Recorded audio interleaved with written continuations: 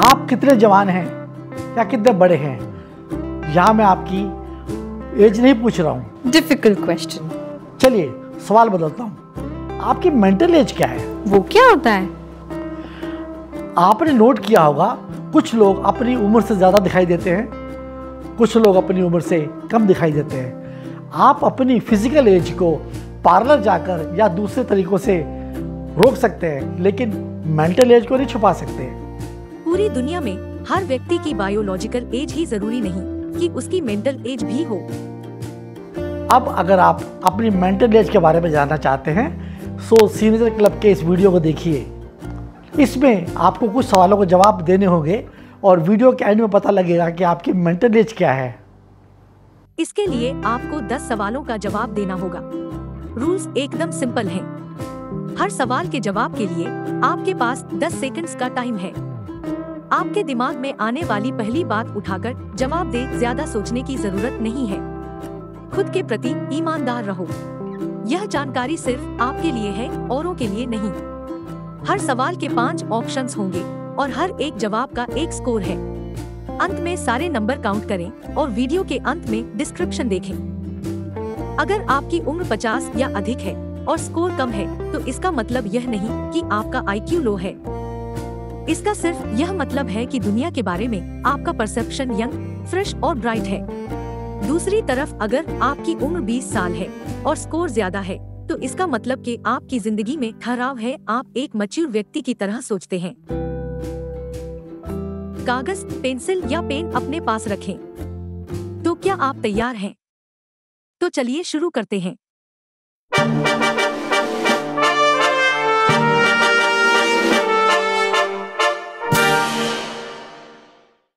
पाँच जानवरों की तस्वीर में एक जानवर चुने। भेड़िया, जिराफ, हाथी, बंदर, घोड़ा।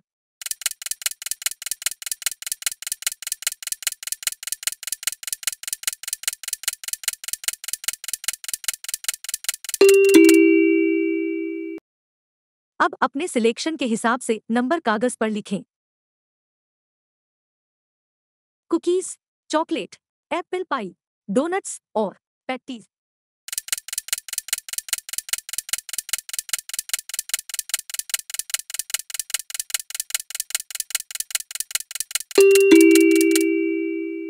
अब अपने सिलेक्शन के हिसाब से नंबर कागज़ पर लिखें।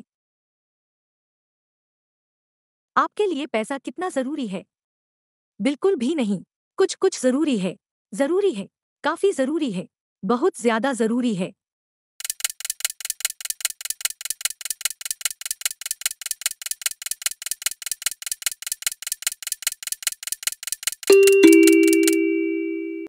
अब अपने सिलेक्शन के हिसाब से नंबर कागज़ पर लिखें। खाली समय में आप क्या करना पसंद करते हैं? सोना, टीवी देखना, खाना बनाना, किताब पढ़ना, क्रिकेट या कोई और गेम खेलना।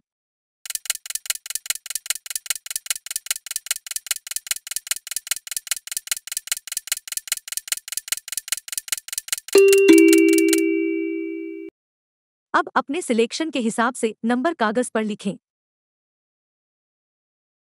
इनमें से कोई एक बॉल चुने।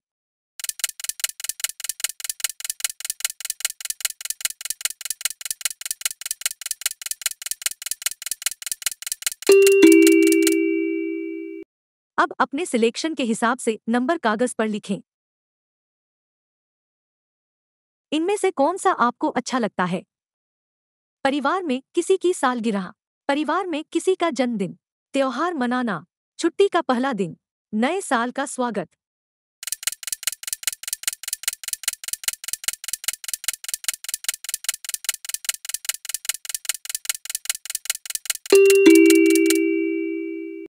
अब अपने सिलेक्शन के हिसाब से नंबर कागज़ पर लिखें।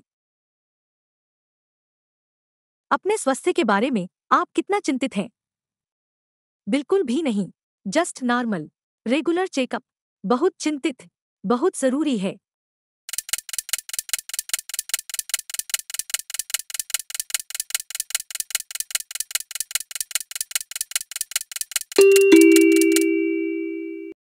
अब अपने सिलेक्शन के हिसाब से नंबर कागज़ पर लिखें।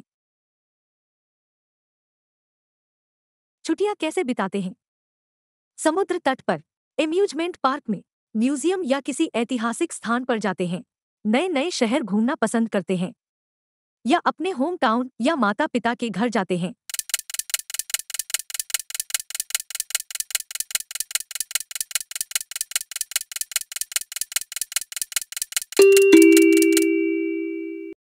अब अपने सिलेक्शन के हिसाब से नंबर कागज़ पर लिखें। इस तस्वीर में आपको कौन सा रंग ज़्यादा दिखाई देता है? ए बी सी डी या ई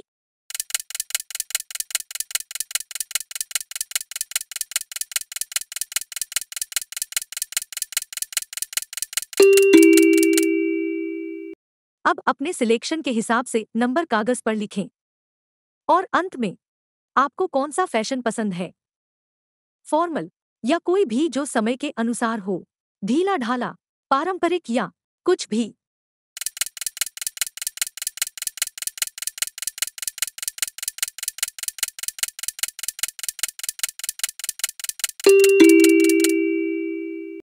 अब अपने सिलेक्शन के हिसाब से नंबर कागज़ पर लिखें।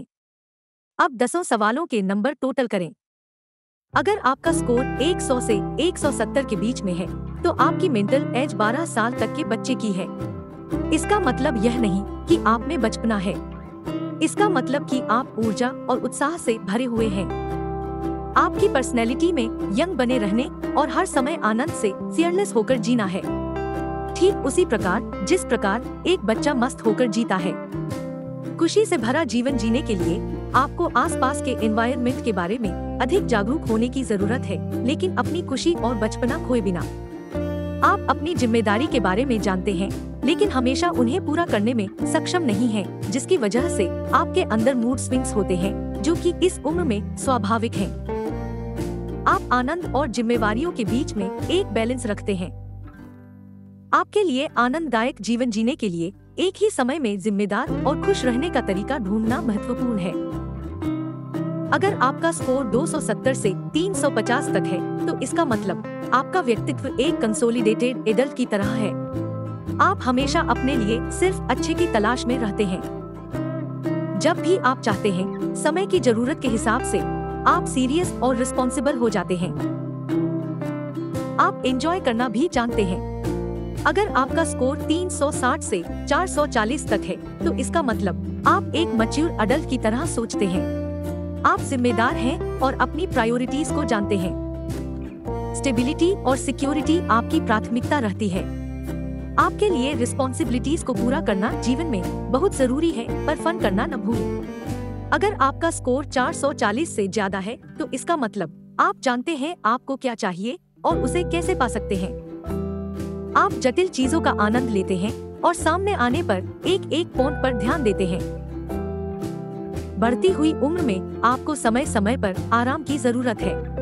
यह मत भूलें कि आपके शरीर में बदलाव बहुत तेज़ी से हो रहे हैं। ज़्यादा ना सोचें। जब आप बहुत ज़्यादा सोचते हैं तो ज़िंदगी के कुछ हसीन पल ज़िंदगी से कम हो जाते हैं। आप अपने परिणाम के बारे में क्या सोचते हैं? आप 80 साल में 18 के हैं या 18 साल में 80 साल के? नीचे कमेंट बॉक्स में अपने विचार लिखिए। हमें पूरा विश्वास है, आपको ये वीडियो पसंद आया होगा। इसे लाइक करें और अपने दोस्तों के साथ शेयर करें। और अगर आप हमारे चैनल पर नए हैं तो सब्सक्राइब भी करें।